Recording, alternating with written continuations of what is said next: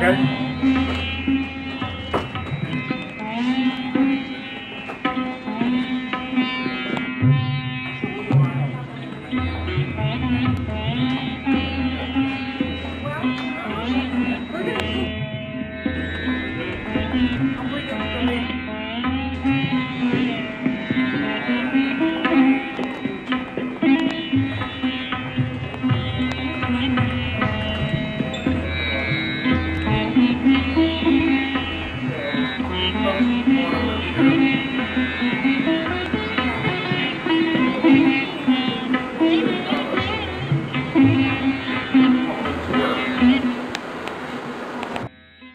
The bedside cart that I referred to.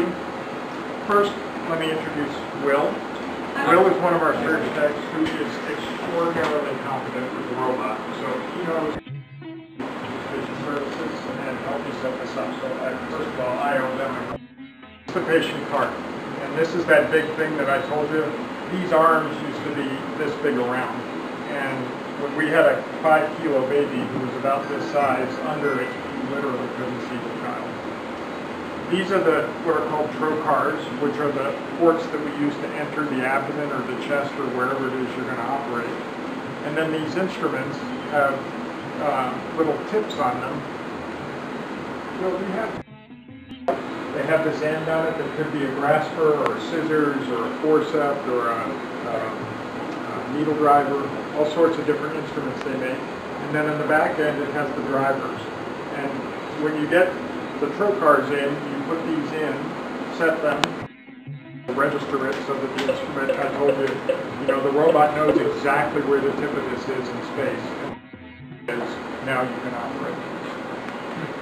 The cart that's behind it over here, this cart right here, is a cart that has much of the um, stuff that we use for laparoscopy. So it, it has, um, whenever we do laparoscopy, for instance, you put these trocars in and then you hook up carbon dioxide gas to it and you blow the abdomen up and it's like the Superdome so you can see what you're doing in there. You do the surgery and then let all the gas out. So that cart monitors all that sort of stuff and then has a monitor on the top. Frequently there are one or two people at the bedside while the surgeon is operating.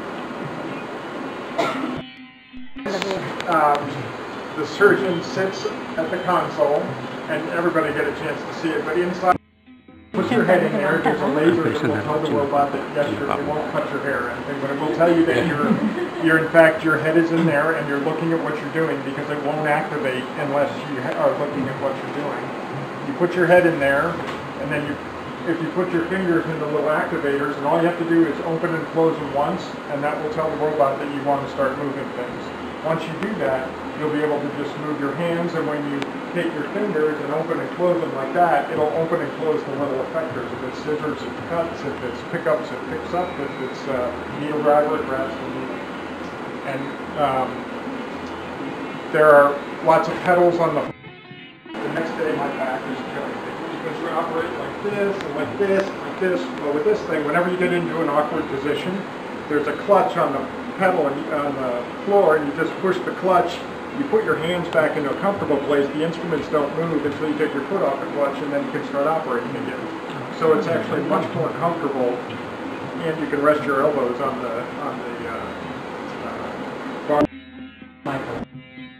In between here to look through this, that'll activate the robot. All I have to do is put my fingers in these little slots and move my fingers and the instruments start to move. And then you can do things like pick up a ring and take it over here and plunk it on there and pass this to yourself.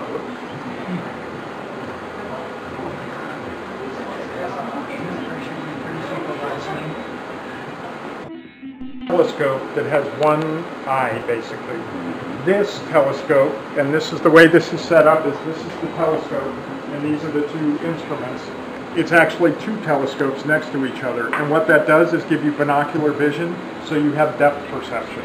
So it's really nice to operate when you can see depth perception that you can't see with standard laparoscopy. And I've done some cases, of what's called a retroperitoneal lymph node dissection, which is for kids with, with some tumors, and because I'm all over these big vessels, but I can see so much better than them that I can tell when I'm close and when I'm not close. So it really is a, it's a huge advance. It makes, it makes life a lot easier when you can look at things that way. So um, I will show you just quickly, I'll sit down at the other console and show you how.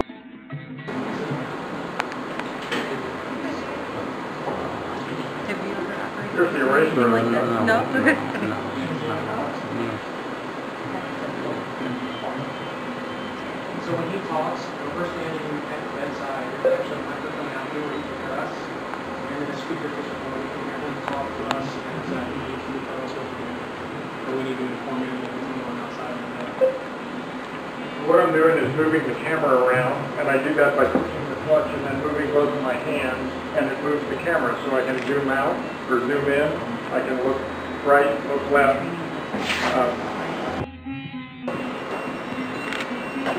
really that simple and that complicated.